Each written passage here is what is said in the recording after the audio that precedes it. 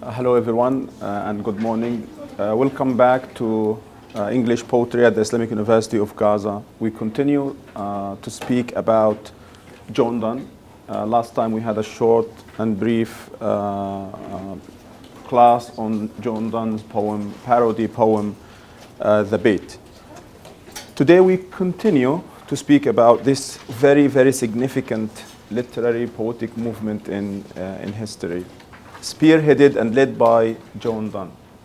Now, before I give you, I give you some uh, information about uh, John Donne himself or his movement and how, uh, how he kind of, how he wrote poetry, how different his poetry, uh, poetry was. I want to say something about uh, the, uh, the neoclassical movement of that time. When we speak about classical literature, we speak about ancient Greece, ancient Rome. Uh, we- speak about the giants, the, the, the, like Homer, for example, with the Odyssey and the Iliad. Uh, the text that many, many people consider to be the greatest of all times because of so many things. Now, later on in time, about 2,000 years ago, uh, there was some kind of decline in poetry. Poetry was not as great as it should be, as it was before. And many critics, uh, one of them is named Horace, who was a teacher, a critic, and also a poet, wanted to, you know, to push his people, his society, to educate his society, the poets of his time, and teach them how to write great poetry. The answer was simple. If you want to write great poetry, you need to imitate great poets. If you want to write great poetry, all you have to do is just copycat the great uh, uh, poets. And for this, he examined, o- like many great texts, tragedies and epics, long poems. And he came with three things under the uh, rules of decorum. I just want to summarize them in these three important uh, points. We call them the rules of decorum. And decorum is from decor, yeah? Internal decor, external decor. From decorate, to make something more beautiful, more appropriate, to make things more attractive, perhaps, more appealing. Now, number one, he said, if you need to write poetry, you need to choose your topic, your subject carefully. The subject matter. What you write about has to be of great significance. You need to write about great truths, about things that touch the society as a whole, about important themes. And then, if you want to write about important themes, necessarily you need to use what we might describe as the poetic diction. Diction, dictionary, diction means language. You need to use a, a sublime language, highly embellished language, a language that can convey the greatness and the significance of this subject matter. And then the forms you need to adopt in order to differentiate poetry from other kinds of writings Right. you need to write adopting certain forms, forms that have, you know, rules also with uh, certain structures, the number of lines, the number of syllables, the number of feet, the way the, the lines should rhyme or shouldn't. Now, many other things, but basically these are the three things I am interested in. So, subject matter, like what, for example? Like you, you write poetry about great battles, about epics, about heroes, about kings, about queens, about the gods, about myths, about king and the queen. Things that, again, touch the society as a whole, of great significance to the whole society. You don't write about trivial things, insignificant things. These things should not be in poetry. Because, again, poetry is meant, basically, and this, again, you studied this with Aristotle and other critics, how poetry, how literature is meant to teach and delight. What are you going to teach me if you're writing a poem about, I don't know, your, your lucky pen or your lucky pencil or your most favorite piece of pizza, your most, uh, your, your cat mewing and waking you up in the middle of the night. This is not of great significance to, to many people. So this is not, uh, you know, a topic fit enough for poetry, worthy enough of poetry. You write about it, I don't know, you, you use comedy, you use prose, you just tell people the story of this insignificant topic you want to, ta to talk about, right? but don't use poetry because poetry is great, is meant for great things, for significant things. So subject matters have to be elite, sublime. And again, the language, not, this means that not every word, every expression can make it to language. Conversational language, colloquial language, slang, not poetry. Cannot be poetic. You need to choose your words and to word your words carefully in a way that is different from ordinary speech, from conversational speech, in a way that you, uh, uh again, you touch people. You, you show people that you're, you're not an ordinary uh, person. You're not writing ordinary stuff if this is a very significant topic, I'm using a very significant, a highly embellished, a refined language. I like to use the word refined to, to describe how ridiculous this is sometimes. A refined language. You know, when they do petrol and the gas and stuff, there is a refinery, you know, refineries in Iraq and Saudi Arabia to refine things. It, because you need, you need to make things decorous, beautiful, attractive, to achieve the sublime. So not every word, not every phrase, not every kind of language can make it to poetry or should make it to poetry because there is something that is unpoetic in language. And again, again, that there's greatness here, greatness in, in the theme, in the topic, in the subject matter, greatness in, in the medium, in the means, in the language itself. Now you have to put this in the most beautiful form there is most highly, again, I would say, uh, uh, highly structured, like we spoke, for example, I, I like to give the, the, uh, the sonnet as an example of how the, you can achieve this. Everything is calculated. Everything is everything counts. Remember the number of lines, the number of syllables, the, the way the way you rhyme. Now, in England, in the 16th century, many people adopted this. And in the 17th century, probably the, the 17th century was the, the hay, the, the, we call this in England, if this is classicism, you know, 2,000 years ago, 2,500 years ago, what happened in England is usually described as neoclassicism or neoclassicism. كلاسيكية الحديثة جديدة or whatever. Because people wanted to, again, in England, again, they asked the question, how can we write great poetry? And there was this inferiority complex in England. They always wanted to compete. They always wanted to be better. But ironically, instead of creating their own forms, again, they ended up imitating Italian and not only Italian, but also ancient Roman and Greek forms of, of literature. Uh, 17th century, and even in the 18th century, this was the norm. Like we talk about 300 years of people uh, believing in uh, the right way. There was the right way and the wrong way. Not only that, many people believe that this could exclude some poets. If you, if you don't follow the rules, if you don't try to choose your subjects carefully, if you don't use the language that ought to be used, or you fit them in the form, you can be banished. You can be banished. You will not be considered a poet. Interesting. Now, in Arabic, we have the same thing, by the way. In Arabic, we have the same thing. Look at the old classical Arabic poetry. Almost 2,000 years of writing poetry in the very same way.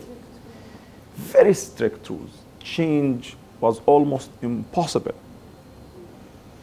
And sadly, in our traditions, many people try to connect the, um, the, the poetry, the classical Arabic poetry, with the Quran and the Hadith. So if everybody tried to change something about the poetry, ah, what are you trying to do?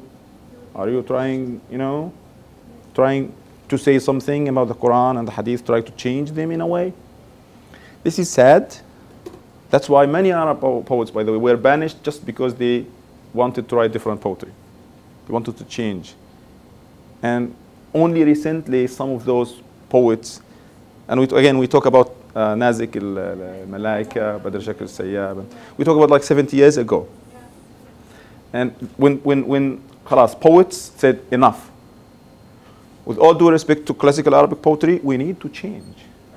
There are other forms out there. Language is now different. Life is now different. So why, why don't we adapt? Why don't we change? And even like for decades and decades, those poets by many conservative uh, critics were not considered serious poets. Cheryl Hor, free verse, and this thing, and uh, many people did not. Even at universities, only recently some universities started to take uh, Badr Shakir Sayyab and Nazik al-Kafarna, and even poets like Ahmad Matar to take them seriously. And this is interesting. Now, the same thing happened in England, but a lot earlier. When people were writing, if I want, I don't know how I could describe the timeline of neoclassicism. If we talk about the 16th century, and then the 17th century, 16th century, late 16th century, early 17th century, where John Donne was writing, and then uh, 17th century and 18th century, and then we go to the Romantic uh, movement. If you want to write, I don't know, the stupid timeline. John Donne was here, basically. But I'm talking about this whole period here. So when John Donne came, if you look at, uh, probably I, I, noted this last time, John Donne is a contemporary of Shakespeare and probably a contemporary of uh, Marlowe and, and, and, Ben Jonson. But he's not classified as any of those people. He's not classified. We describe him as an as a Elizabethan, uh, Jacobean, like many things, because he lived during many many reigns. Okay, now I would say uh, during the heyday of neoclassicism, when English poets believed wholeheartedly in these rules of decorum, that if you wanted to write poetry, you need to follow these rules. Someone said, no, nah, not doing it. And this man is John Donne. He refused this, and we'll see today, probably also next class, we'll talk about what he did and how he did what he did. Now, most of what I'm going to say is, is my interpretations reading John Donne's uh, poems. He did not write a book of criticism. He did not write an article of criticism uh, suggesting to people what to do or condemning and criticizing uh, the, the mainstream uh, rules of versification. And I'll try to make my point, and it's up to you to, uh, to believe whatever you want to believe. Now, John Donne, number one, believed that there's no such thing as the subject matter. It's wrong. Anything, anybody can make it to a poem. Why would poetry? Because, by the way, if we talk about poetry in this way, I believe it makes poetry an elite practice. An elitist practice, practice, meaning poetry is only for the rich. Poetry is only for the king, for the queen, for the nobility, for the royal family, for people who go to Oxford, to Cambridge, for the educated, for people who learn Latin. It means poetry is not for the many, it's for the few, for the 1% rather than for the 99%. And I think Bernie Sanders would be proud of John Donne, you know. And this is not, if, if, because literature is meant to be for all. Now, drama, look at this, how this elitist idea of literature, if we make literature elitist, it destroys literature. If we make literature for just some group, that's not good. If you look at drama, you're studying drama, drama is for all. Look at Shakespeare and the Globe.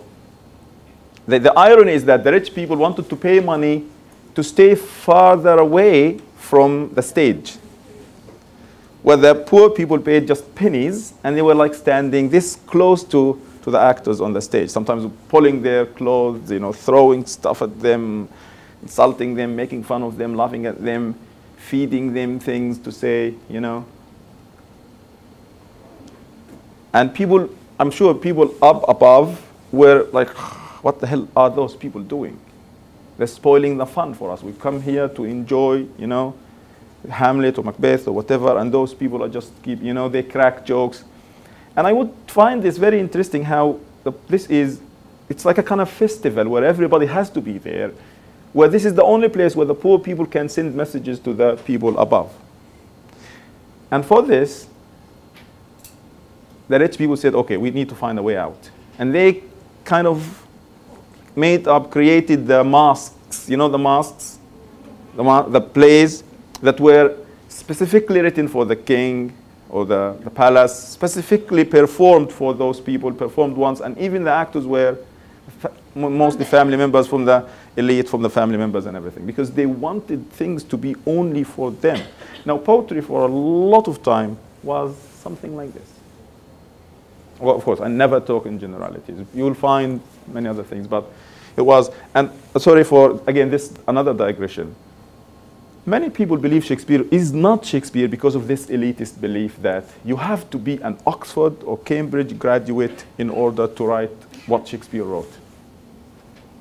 People who say Shakespeare is not Shakespeare, you know, there are many reasons, but one of these reasons is that people believe, some people believe it's impossible for someone who just went to a grammar school like Shakespeare to write these great masterpieces. So this idea is also itself elitist. That if you are a poor man, if you didn't go to Oxford or Cambridge, you can't write something like this. It's impossible for you to write something like this. And this is interesting how to, to look at things. Because sadly, and we'll see this in a bit, sadly, and unfortunately, we usually take critics for granted. Ben Jonson says something, oh, he must be right. Aristotle said something, oh, he must be right. Dryden, one of the greatest critics and poets, he must be right. He's Dryden. Who am I to question Dryden? And this is wrong because there will always be frames and constructs imposed upon us. We need to break them, to unframe uh, this. Now, subject, anything can be in a subject matter. Look at John Donne's poem, The Flea, you know, the disgusting little creature that keeps jumping and sucking blood the bait. And look at the, the, the, the, scenery, the setting, and everything. We'll see how what he does to the, to the sonnet, the most sacred form of all, of all uh, forms. Huh.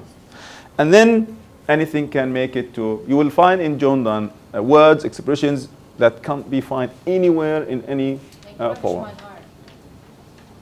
The way he starts the poem, the way he elaborates on the conceits, the long, you know, metaphors, the language he uses. And that's why, and this is again sad, we'll talk about this in a bit. Some people describe John Donne as vulgar.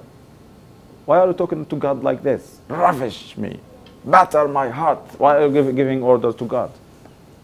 That's vulgar of you, لغة سوقية. But I don't think it's true. I don't think he's vulgar. He's using the language of the masses rather than the language of the elite. He's trying to avoid using an embellished language, sometimes a dead language. He's trying to appeal to the masses rather than to the elite. And this, for many people, is not good. Okay? We'll see and give examples. And then the forms, the rules, especially how many syllables you should have, how many, and the rhyme scheme and everything. John, don't get this wrong. John Donne would follow these rules, basically. But if the rule hinders the meaning, the emotions, the feelings, he will break the rule. That simple. And if most of the poems, I could sh show you a thousand poems from the time of John Donne, before him and after him, during him. And then you'll find that the, the, they look like boxes, you know? It's the same. We've seen with Shakespeare's sonnets. Thousands of lines, all, almost all of them, 10 syllables, five feet. With John Donne, he could sometimes do a variety of things. Five feet, four feet, six feet, three feet, two feet. Because he believes that the meaning, the thought, the idea, the experience is more significant than, than the rule. If the rule restricts and limits the, the, his, his, you know, the release of emotions, his expression, he would break the rule.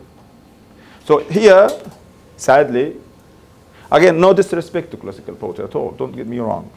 When we talk about the rules of decorum, sometimes we talk about a given form, some kind like, like templates. If you want to write a sonnet, here you go. Shakespeare, here you go. You know, quatrain, quatrain, quatrain, couplet, A, B, A, B, C, D, C, D, E, F, E, F, G, G.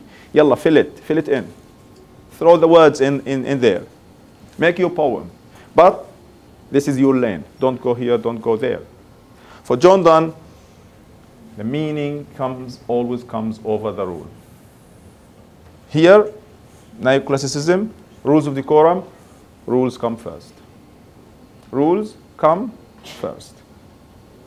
Rules come first. And for John Donne, no. So in my understanding, I believe that it, the first serious attempt to bring poetry from the, the, you know, the ivory tower, you know ivory tower? The highest, the peak, you know, the castles, the king, you know, the rich people, the elite, changing poetry from being an elitist practice, bringing it down to us, the poor people, the downtrodden, the oppressed, the ordinary people, the masses, the 99% was John Donne. So I think John Donne, I could safely say this personally, I believe in this, that John Donne brought poetry down to earth. John Donne brought it from the castles, from the palaces, from the courts down to us, to you, to me, to the masses by making it appeal to our experiences, to our languages and, and everything, the way we speak, the way we think. And this is a very, very serious thing to do. In my understanding, in my reading of John Donne, he is the first real uh, modernist in English poetry. When you read uh, books about poetry, literary books and criticism, when people, when critics speak about uh, romanticism, they say this is the first real uh, modernist move, movement. It's true. But John Donne, 100 years, like more than 100 years before them, he was engaged in the same thing, writing against the current, breaking the rules of the mainstream rules of versification, uh, rejecting the given forms of, uh, of poetry, refusing the elite, highly embellished language of of poetry, saying everybody can be a poet, everything can be in poetry, every language can be in poetry, every experience is worthy to be in, in, in, in poetic forms. Okay? Now, if you have questions, please. If you have anything, any, any suggestion, anything, please. Um, if Horace, as a teacher of poetry uh, in Greek uh, era, told he's a Roman poet and critic. Yeah. In, in, he gave rules, rules to people to write about the, about the subject, the poetic diction, mm. and the form. So for you as a, a poet uh, and a teacher at this time, and you write poetry, what is uh, like the uh, summarized uh, or the small definition of poetry for the people who want to write what they don't know? Now, okay, for those, in my, in my way, it's good to understand all of this. And this is what I'm doing. I'm trying to understand how people do. And then when you write poetry, you just write poetry. I don't believe in given forms. Okay. Here, the definition of poetry is uh, uh, poetry. In Arabic, it's again similar. العرب بيقولوا إنه الشعر قول موزون ومقفن وله معنى. Something with uh, strict music and strict rhyme scheme. Look at this. The music, the rhythm, and the rhyme come before the meaning. Rules, rules, meaning. Okay? There is one one objective here, or two objectives, to teach and delight, to educate and to please. So in, in, in, my, in my understanding, my way of doing things, my philosophy, poetry should not have, uh, it's good to follow the rules, but if you can't, again, we are not native speakers, for example. If I want you, if I ask you to write sonnets and nothing but sonnets, you will fail and you will fail miserably. And again, this is one reason, in my understanding, that many people wanted us to follow the rules so that we fail and fail miserably. I was reading this piece of information. I think I didn't go after it, but it's mind blowing. Somebody was saying he, he used, what's that French word?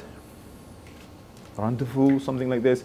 He wrote that on Twitter and said, uh, Not one letter in this word is pronounced as it is written.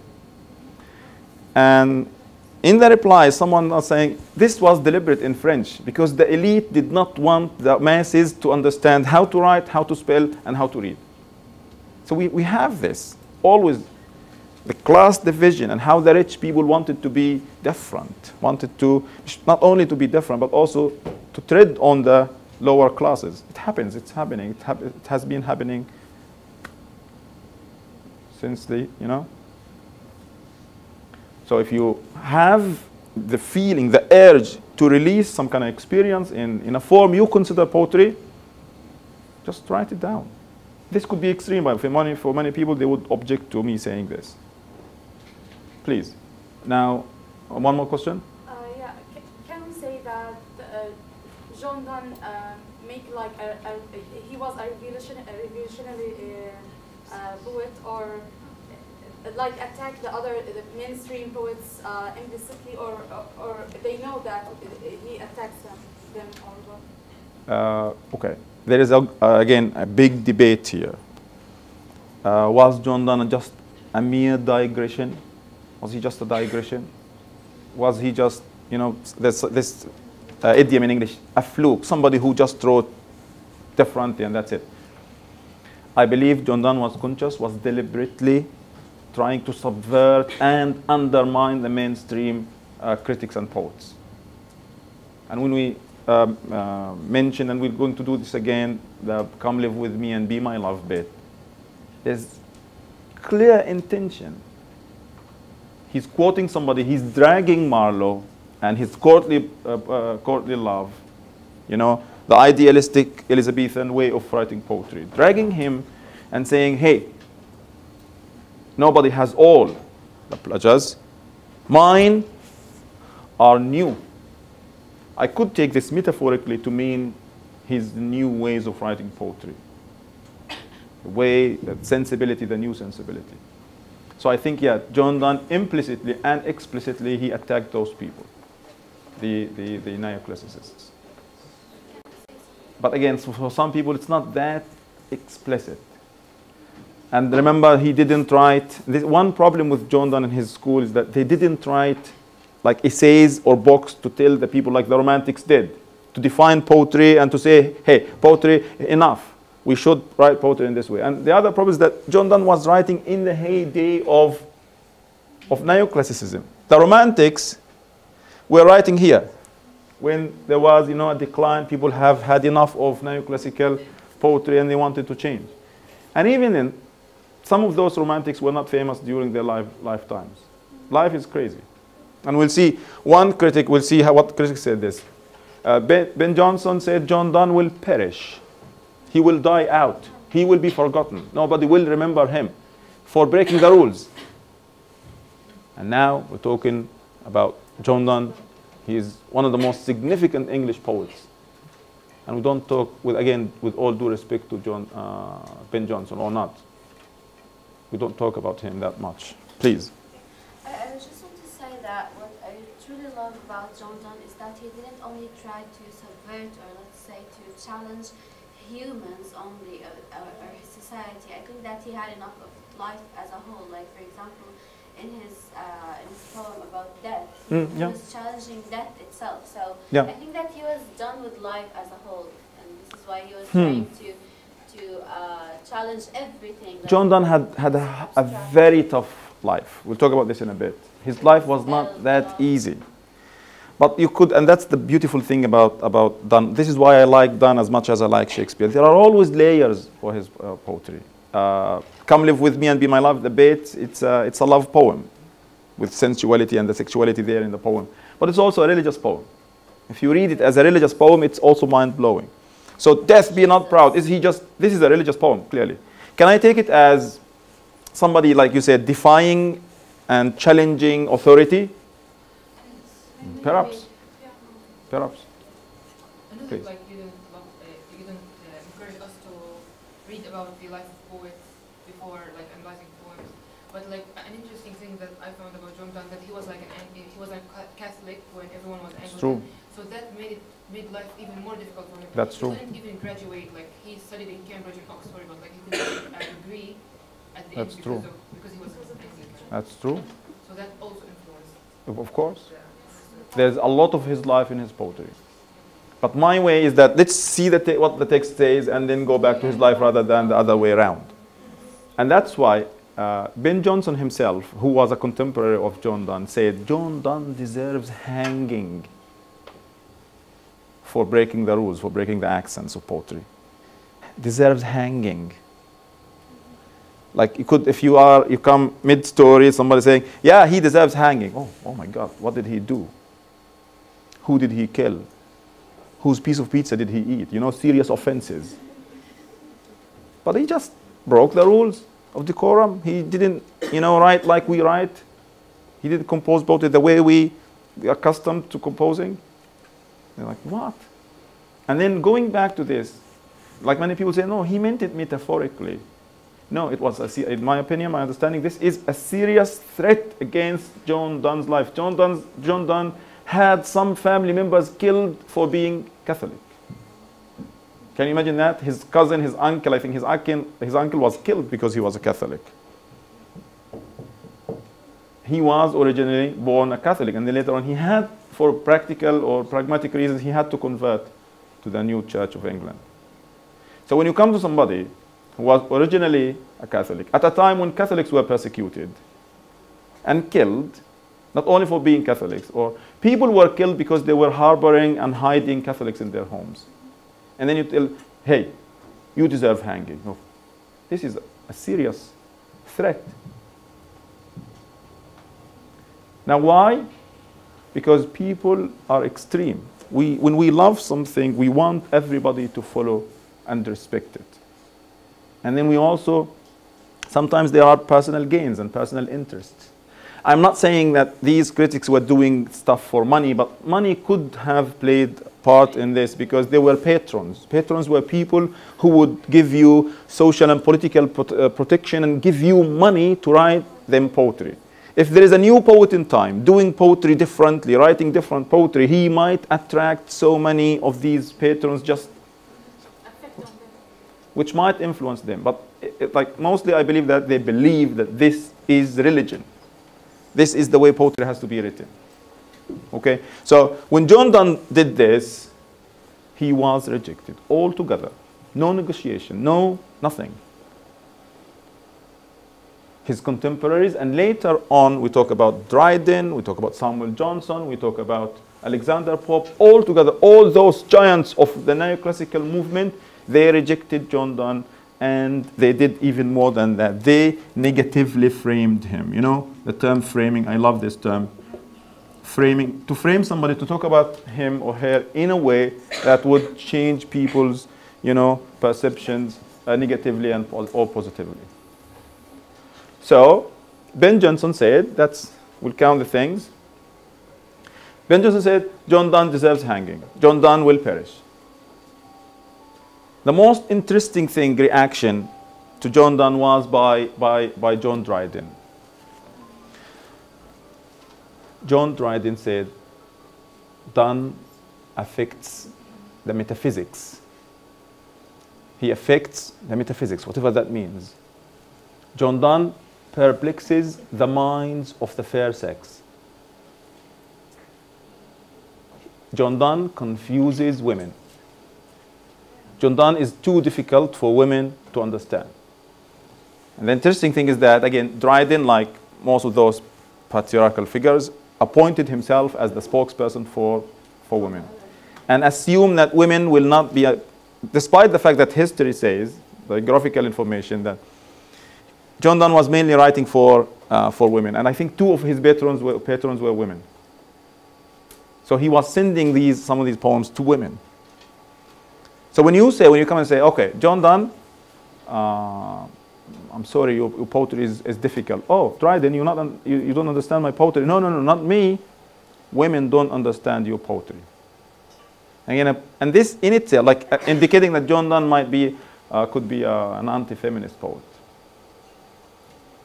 This remark itself is not only anti-feminist, it's misogynistic also. it hates women. It assumes women to be less intellectual. Donne or Dryden to be accused of typing. Dryden, yeah, like Dryden's uh, remark is anti-feminist in itself. Dryden saying that John Donne confuses women is too difficult for women is anti-feminist and misogynistic because he assumes that again that women are not smart enough. Now we'll see other critics reacting. Uh, uh, uh, I'll go through the, the list uh, now. Like Samuel Johnson describes John Donne in, in, a, in, a, in a very also negative way, and he gives him gives him and his followers the name metaphysical poets. Metaphysical poets and metaphysical poetry. And until this very day, we know them as the metaphysical poets. Now, what does it mean? What is metaphysical? Don't raise your hand because it means nothing, it's crap. Imagine your most, that, that like your, you know, an arch enemy giving you a nickname. Is she going to be generous about that? Is she going to, to say good, good stuff about yourself? And be careful, most, most of those poets and movements were not named, like they didn't name themselves, they didn't give themselves the name we use now. Even the romantics, like later critics said, okay, these are the romantic poets. The theater of the absurd. Samuel Beckett didn't say, okay, I, I write absurd stuff. Other critics, and usually critics who don't like you would give you the name like what happened with John Donne. So in my opinion, metaphysical, okay, if metaphysical, some people try to compromise. If metaphysical means, you know, intellectual, I would take it. Argumentative, I would take it. But it was used as a term, as T.S. Eliot himself says, it was used as a term of abuse, yes. as an insult, as a way to drive people away from those people, from those poets. Metaphysical poetry. So if you want to define meta means this and physical means this and beyond nature, don't do that. The term itself, the word itself, means nothing because it was given by the, the enemies, let me say, of the metaphysical poets. So today we use this as a term of convenience. Halas, everybody knows that these are the, the, the romantics. Although sometimes I insist on calling them John Donne School. John Donne uh, School of, or Movement, School of Poetry. Okay, we'll see uh, two, uh, two poems. We mentioned one last time. We'll go through it again and see another a poem by, uh, uh, by John Donne and how this changed in, in many ways. Do you have any question before we go through this again? I'll, I'll be posting this under the videos on YouTube so you can use them. Okay, so if, if, if you want me to uh, uh, wrap things up, these, these are the rules of decorum very old rules to examine what is proper and what is appropriate to be in poetry or not to be in poetry. This was meant to guide people. If you want to, write great literature, follow, imitate, copy great poets. Poetry had two aims to teach and delight, to please and, and to educate. Now, again, that subject matter had to be sublime and elite, talking about issues like great, uh, issues of great significance to the whole society, like the gods, the battles, heroes, the kings and the queens. There should always be things related, like in the themes, related to universal truths, something to transcend sometimes the barriers of time and etc. To achieve decorum, mixture of forms should not happen. You don't mix tragedy and comedy. Don't do that. Comedy is comedy, tragedy is tragedy. This is basically in tragedy, not poetry, but poetry. Drama is poetry also. Okay? Now the diction has to be highly embellished, refined, and sophisticated. Something called poetic diction. The descriptions themselves are supposed to be pleasant, delicate, flowery, idyllic, you know, sweet, romantic, like we saw with Shall I Compare Thee to a Summer's Day, we saw in Marlowe's Come Live With Me and Be My Love. The scenery, the beauty, life, the utopia-like setting. Poetry has to be expressed in words or phrases that are not in ordinary conversation, but in what is known as the poetic language, the language of poetry. The same thing again with the rules of decorum uh, that dictate uh, uh, the poem has to use a regular form, a highly structured form. The shape, the lines, the, even the, the syllables, everything has to be highly uh, calculated. I give here uh, the sonnet as an example, uh, being the epitome of, of decorum. Now, John Donne is a modernist. A modernist is somebody who writes against the mainstream, the traditions, who wants to break the rules, to bring something new. And a modernist is not something that happened in the 20, 20th century or 21st century. It's anybody who wrote differently. Why? Because John Donne believed these rules were limiting, were restricting. And many of those, uh, uh, many, many critics later on believed in the same way like the Romantics. These rules were limiting. We'll mention this again with the Romantics. I believe that these rules make poetry elitist for the educated, for people who go to university and learn about ancient literature and uh, ancient languages and the rules of poetry writing. Therefore, uh, we'll see how poetry, for example, you, employs parody and satire and uses uh, intertextuality as a means to subvert and undermine and challenge and defy, like Noah said, the, the given, well-established forms of uh, uh, not only poetry but also social construct, like I say here. The attack against these rules was also against the social and poetic mainstream constructs of, of everything, of women, of poets, of who, of land, of everything. And that is serious. That is why people would hate uh, poets like John Donne and those who break the rules. Because this is not only about poetry, it's about the whole world view. We are living, remember the, uh, the, uh, uh, the chain of being, you know, this chain of being with God being here, the king and everything. This was thought to be God given. Any change in this order means destroying the whole world, creating chaos. And that was not allowed uh, to be. Now, John Donne, these are interesting things people said about John Donne. Again, Ben Jonson saying, For not being understood, John Donne will perish. Number one, he will not be understood, and therefore he will die out. He will be forgotten. Sorry, Ben Jonson. John Donne, he passed away. And that for not keeping the accent, the accent, the music, the rules, whatever it means exactly, not the accent, of the language, like the music, the poetry, the rhythm, he deserved hanging. That's very extreme, huh? And then John Dryden says, John Donne affects the metaphysics. He perplexes the minds of the fair sex.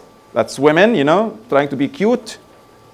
With nice speculations of philosophy when he should engage hearts. Look at how this, I, I, I call this the how to do manual, what to do in poetry. If you want to write poetry to women, you have to address their hearts, to entertain their softness, the softness of love, something John Donne disagrees with. Samuel Johnson says, Donne's poetry is a combination of dissimilar images or discovery of occult resemblances in uh, things apparently unlike. And the famous thing he said, the most heterogeneous ideas. He bring, and he does, John Donne. He doesn't stick to one, like, you know, lane. He just keeps going here and there. Like in a religious uh, poem, you will find like some sexual imagery and vice versa. And again, because of the geographical discoveries and his, his interest in some kind of sciences, he will include the references to the universe, to geography, to places. He was trying to change. For those people that was like, oh, why are you mixing this and that? Mixing, you know, genres was not allowed. So the most heterogeneous ideas are yoked by violence together. So you can bring heterogeneous different ideas together. But John Donne is overdoing it He's bringing very unlike, unlikely things together. I don't think this is because he was doing this, but it's mainly because they were not used to such things. Nature and art are ransacked. I love this metaphor. How John Donne, you know, ransacks nature and art together in a way that is unfamiliar to them. For illustrations, comparisons, and allusions. Alexander Pope says, listen, even those haters and losers, are like Trump, uh, of, of, of John Donne, Like they hated him. They didn't like to, you know. Uh, many of them admitted that John Donne was witty, that he was, he had unprecedented wit. Genius. They're here. Sleeper. Not Alexander Pope. Not Alexander Pope. This is, by the way, I, this is a nice guy, Alexander Pope. You should read what he did to Shakespeare, what he said about Shakespeare. Very interesting guy. Sometimes he would change things in Shakespeare plays and said, ah, I think Shakespeare meant, to, meant it to be this way. That's very, very extreme. He said, Donne had no imagination, but as much wit as I think any writer can possibly have, and his wit is ordinary. He's not unprecedented, he has no imagination. Ooh. Now, modernist poets, unsurprisingly, Samuel Johnson loved him. Because remember, the Romantics hated the neoclassicists, so everybody who hated the neoclassicists always went back to, uh, to whom? To John Donne. To tell the people, like, look, we're not doing this like other people did this. John Donne was the, the guide described him as wonder, exciting, and vigor, intenseness, and peculiarity of thought, using at will the most boundless stores of capacious memory and exercised on subjects where, where we have no right to expect. Unexpected. He goes, you know, Shakespeare, the undiscovered uh, uh, territory from whose bourn no, no traveler returns. John Donne goes there. This is the wit of John Donne. Now Herbert, this is the guy responsible. We always attribute, uh, you know, the revival, the resurrection of John Donne to, to T.S. Eliot. It's true. But it was this guy, this amazing guy, Herbert uh, Grierson, who wrote a, a book and collected the, most of the poems by John Donne and his followers in a book. Later, T.S. Eliot's review of the book made them what they became. He praised John Donne as reflective, the most thoughtful, imaginative, genius, unconventional. Look at the word unconventional. T.S. Eliot described them in his article, a generation, and I love this statement, a, a generation most named than read. People name Donne, the metaphysicals, but they don't usually read them. And when they read them, they don't benefit from, from John Donne. T.S. Eliot believed that poetry has to be difficult. He believed that poets, to write great poetry, they have to imitate John Donne, to write like John Donne. And in the 20th century, ironically, John Donne comes back to life 300 years later. I don't like to say John Donne, T.S. Eliot discovered him or brought him to, life. To life. Like he came to life himself. He resurrected himself like a phoenix. He found us. And I love one critic said John Donne was writing 300 years ahead of his time in the 20th century, he became one of the most significant poets. One of the most significant poets. One of the most uh, uh, quoted poets probably after Shakespeare, John Donne. Okay, this is a surprise or not. Virginia Woolf loved John Donne.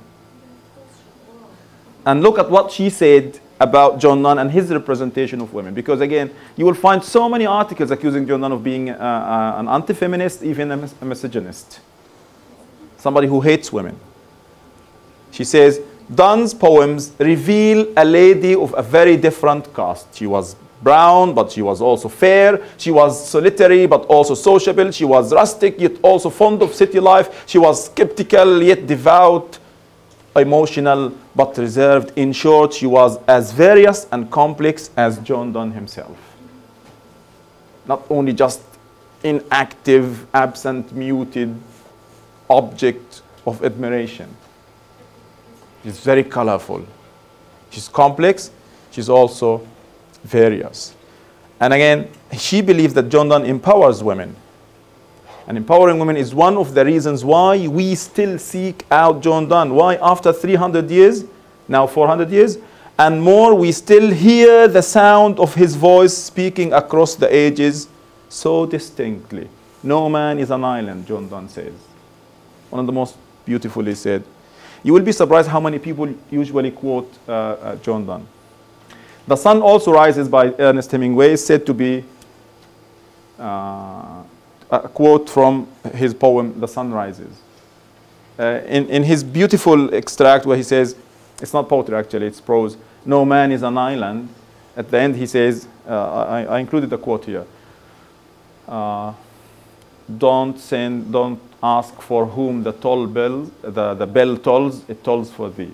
You know, in the church, in the past, if somebody died, the, the, the, the bells of the church will be tolling, will be ringing, just to, to, to say that somebody is dead. So he says, if you hear the bell, don't send to ask who's dead, who died. You, you died. Yeah, for, to whom the, the, the bell tolls, also from, from this great guy. Okay, ladies, question, please. Uh, I have a question. I mean, before Jean Donne, weren't there any previous attempts to rebel against the rules of the curve? I mean, was he influenced by any other critic or poet, or he just woke up one day and said, I want to start a new school? That's a very interesting question. This is what we, do, what we say, what we mean by going back and trying to reread and dig. There could have been poets like Shakespeare, like, uh, like Donne, who were totally obliterated because they were forgotten. Nobody uh, recorded them. Nobody wrote their poetry. Nobody. And the question applies to women, by the way. Women, the first, when you studied, like the first, uh, like uh, woman, probably the first poem by woman we studied previously was in the 17th century. Women must have written stuff before, but they were not taken seriously. Their moms, their dads, their brothers, their sisters might have made fun of them. So maybe there was somebody, but I, am not aware of anybody uh, uh, John Donne was imitating or following or taking as a role model. Maybe he is this genius who just said, I should be some, doing something differently. Please. I don't think actually anybody wakes up and says, I want to make a. It's a process, yeah. Right, it's his beliefs, he has different ideas, and so he writes according to those different ideas. And then later on, people decide that he's a different school. But many people liked to follow him. He had, sorry, I'm sorry, not many pe- people, few people loved his poetry during his lifetime and, and later on. Women were great admirers. We, we usually forget this. And again, this says to Dryden, shut up. Because he assumes that women cannot understand. So when would we describe him, or like when we first start talking about Virginia Woolf as a person who hates women, if women really admired him? I think that he actually was. Okay, the only person who said John Donne hates women is Dryden. Somebody who hates John Donne. So don't take Dryden for granted talking about Donne. Okay, I just want to say one thing. I think that women really liked uh, the poetry because he was, in, like, according to the society, as inferior as they were. The subclass, yeah, yeah, that's the, like he belonged to the subclass. He was marginalized on the fringe of society. He was, she, they were also there, but they found something in his poetry, something appealing to women, something empowering women, giving women voice. In John Donne's, if you if we go back here again, taking this as a love poem, not as a religious poem, because people like to take it as a religious poem and, and say here Jesus is, you know, going, you know, going to, to- into the river and the sun being upon playing on the Son of God and, and the sun here. Uh, the woman in the text is present and powerful and active. Not here in other texts as well. Sometimes she's silent, she doesn't speak. But what she does is what the whole poem revolves around, the whole universe sometimes. Okay? So, in, in, like we said this uh, before here, the woman uh, uh, is not. Uh, is not as naive, or I don't want to say naive, is not as passive or inactive as we saw in, in Marlowe. She's not taken for granted. Here, that, in my understanding, the very idea itself, the very idea of John Donne writing this different, taking the whole poem into a different scene instead of the pastoral nature and green, you know, um, grass and everything, taking it to this scene is new. And this idea in itself suggests that John Donne knows that the woman is going to understand this. He's going to understand the different, uh, the change in, in, in setting from, again, the idealism of, of, of the Elizabethan age to the realism of John Donne. Look at how he's, again, I, I, I- I pointed this out before. When he's talking about this, the, the scene where men are running after the, the woman, the, the fish, you know, going to be, uh, to, for the bait, being the woman. And look at this negativity here, or darkness, I would say. The change of tone. He's realistic. He's not telling the woman, I have the perfect world. I'm drawing the perfect world. The, this world has, you know, beautiful things, but also dark things. When we talk about people freezing and legs injured, look at this word. I don't think you'll find treacherously in anybody's uh, poem. Treacherously, you know. He says it's unpoetic word. It, it's, it sounds unpoetic, but for John Donne, any any word can be there. And look at the strangling. You know, to strangle something, to strangle something, to hang somebody, to suffocate somebody's snare, or when do we knit? And then he says, look at again the slimy, like this is not an, an, an idyllic scene. This is not a romantic scene he's creating because he's suggesting that this is life, sometimes, sometimes good, sometimes bad. This is the, real, the reality of life. The bedded fish in banks outraced the tired men who couldn't get the, the woman or curious traitors sleeve even when they tried to, to deceive them, each other to get this, uh, this bait. You will read so many things about the last, uh, so many interpretations about the last uh, this woman cannot be deceived or this woman does not deceive. Why, isn't he, why is he saying uh, the fish, if he is enchanted by the woman, if he is in love with her, if he wants her, why is he saying that he is a fool? Because in another poem, by the, by the way, he says, I am, uh, I am, does he say, I'm triple fool, I know, or I'm a double fool, I know? He, say, that he begins the poem saying, I'm a stupid person, I'm a fool. I'm a triple fool. I, I think he says, I am a triple fool, I know, for, uh, for writing poetry and for saying so. Something, we'll see this uh, extract in a bit. So the, the fish that is not caught by the bait, by the woman, that manages to escape the woman, the magic of the woman, the beauty here, everything, is wiser than the speaker in the poem. So is he regretting, you know, falling in love? Is he saying? Uh, honestly, I'm not sure what he's, what he's saying. and, and this brings me to a, a, a very important point about John Donne. There are always layers in his, in his poems. There are always layers of meanings. You could take the, the poem here or there and this. Listen, this doesn't make him difficult. This makes him interesting. We take him home. He's not, we, like if you study other poets, usually you just, okay, think of the poem in the class, you're like, okay.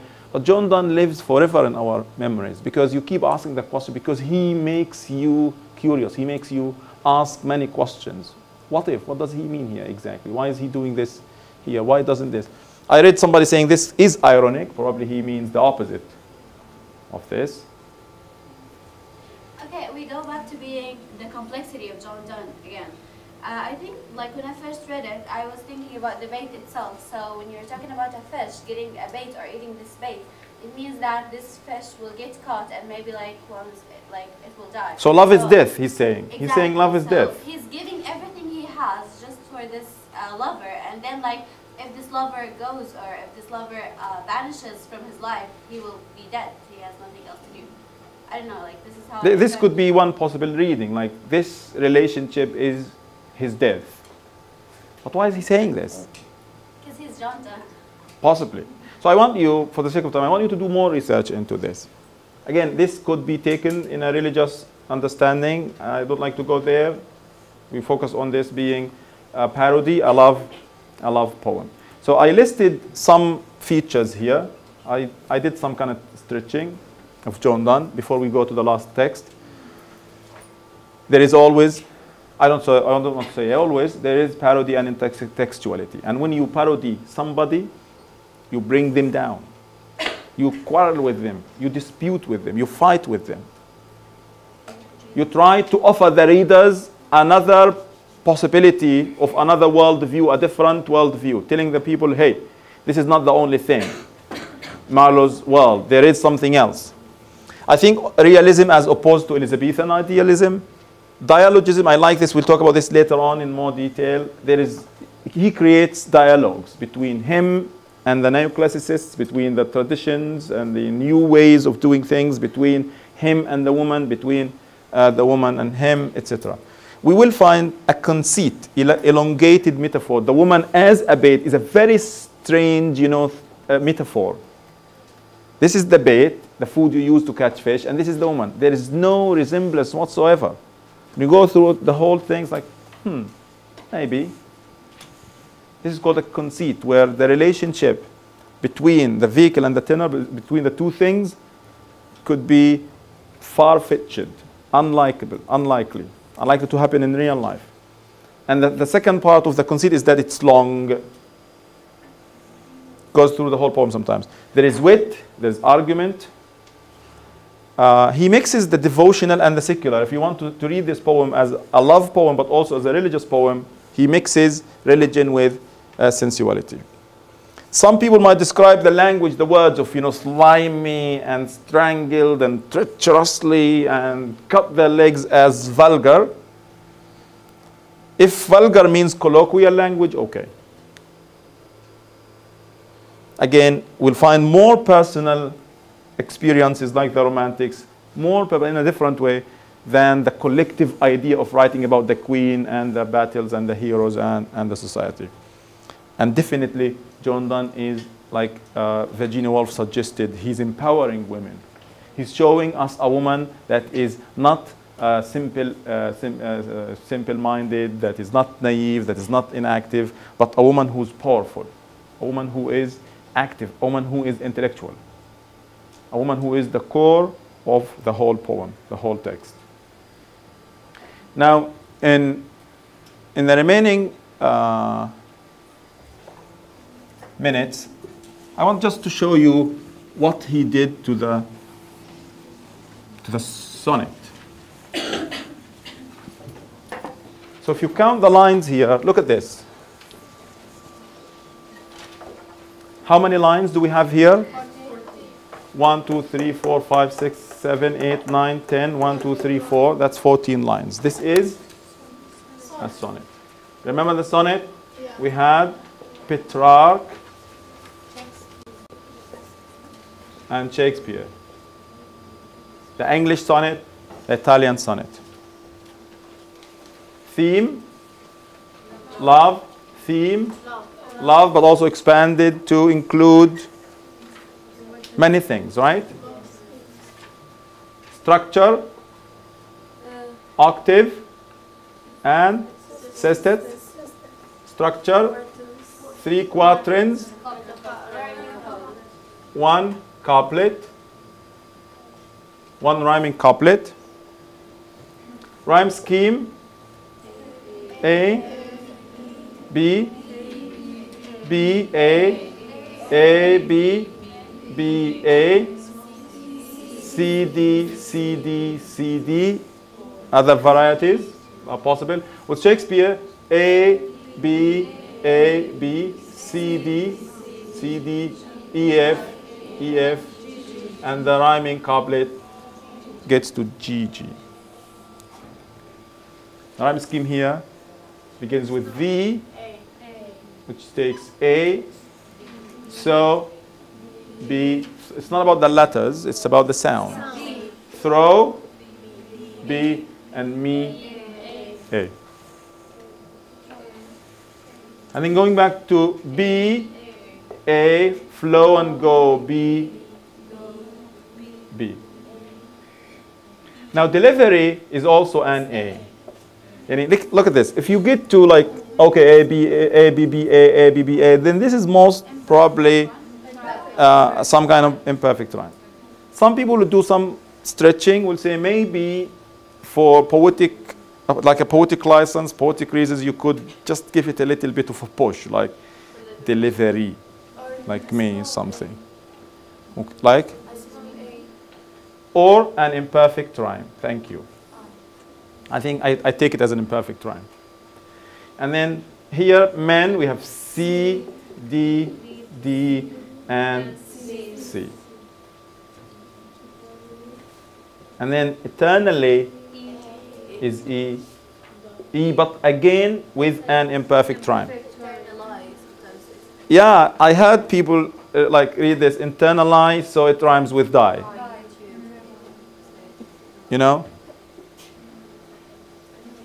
But I also think this is an imperfect rhyme. Eternally and die. Like, look at one sonnet.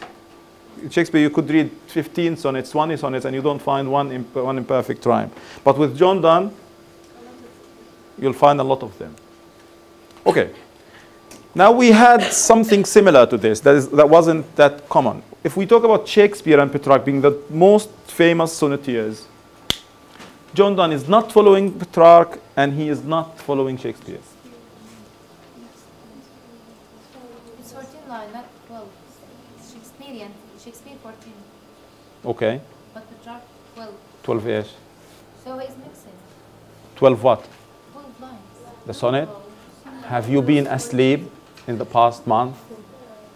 14 lines. Sonnet, 14 lines. There's no way a sonnet can be 13 or, okay? So, uh, many people would see this as closer to Petrarch than Shakespeare. That's, that's correct. But I like to take it as a mixture of both. He goes for Petrarch and he always kind of insists on the couplet. Remember, like I said, Shakespeare made the sonnet famous in England, made the couplet something wow, nobody can do. I think John Donne saying, I can do the, the couplet thing. Kind of posing more challenge. But what's more, when you read the text, death be not proud. Oh my God. What, like what? Is he, whose death? What is he talking about? Who's he talking to? His wife being likened to death? His mother-in-law? Definitely not. This is, if you look at this, this is a religious poem, a devotional sonnet. A poem a religious person writes. Look at this. He's taking the most sacred form of poetry, the sonnet, and almost changing everything about it. The theme, a rhyme scheme, and the structure. The structure could be a cup, uh, uh, an octave, uh, like, like what we did with uh, in Husulis to Hunt, a, a, an octave, a quatrain, and a couplet, or three uh, quatr- quatrains and then a couplet. Isn't this interesting? Imagine again the people who loved the sonnet and considered it nothing but pure love poem. How are they going to react to John Donne? Someone say, "Hey, I have a sonnet for you. Wow, really nice. Give it to me." And then all the "Death be not proud, though some have called thee mighty and dreadful." And look at remember with, with Shakespeare, every line is basically one full sentence. Shall I compare thee to summer's day? Thou art more lovely and more temperate. Rough winds do shake the darling buds of May. Like, but with John Donne, he just keeps snaking. Death be not proud, though some have called thee mighty and dreadful, for thou art not so. You're not powerful. You're not dreadful, death. And this is very a very memorable thing to say. For those whom thou thinkst thou dost overthrow, die not, poor death nor yet canst thou kill me. We'll go through this in detail ne next. I want you to just, for the sake of comparison, to see other sonnets by John Donne. This is also a sonnet. Look at the beginning. When you read the, the, the sonnet, stay away from people because you don't want to get them to, mis to, to misunderstand you. Spit in my face, ye Jews. There's anti Semitism here, but look at the opening here.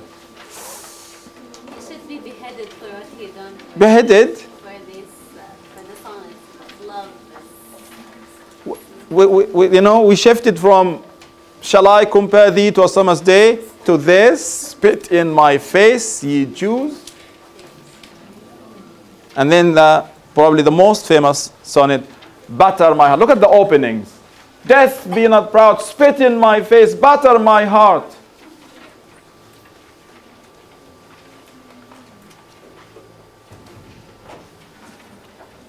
And finally, look at these uh, uh, uh, summaries here. We'll, we'll, I'll go through them and then stop. So I just want to repeat things I said in other words. I'll continue next class with, with John Donne. So the metaphysicals, inverted commas, a group of poets led by John Donne, and then we have Herbert later on, Andrew Marvell, and Henry Vaughan. Uh, Donne wrote poetry as other poets were. He wrote different poetry, were adopting the classical rules of the decorum. John Donne was a modernist. A modernist means somebody who writes against the current, against the mainstream rules of versification. The neoclassical critics did not like John Donne. They rejected him. They negatively framed him. They kicked him out of, and I think, I can't remember, I think, I think it was Samuel Johnson say, who said John Donne is not a poet. I think this is the most extreme thing you could do. I think it's more extreme than saying he, uh, he deserves hanging. He's not a poet. And then, thanks to Grierson and T.S. Eliot, uh, many people started to admire and appreciate uh, John Donne. Uh, today, John Donne is one of the most significant uh, poets of all of all times. Uh, next class, we'll see two uh, poems for John Donne, and then we'll move to another poet. If you have questions, please hang around. يعطيكم العافية.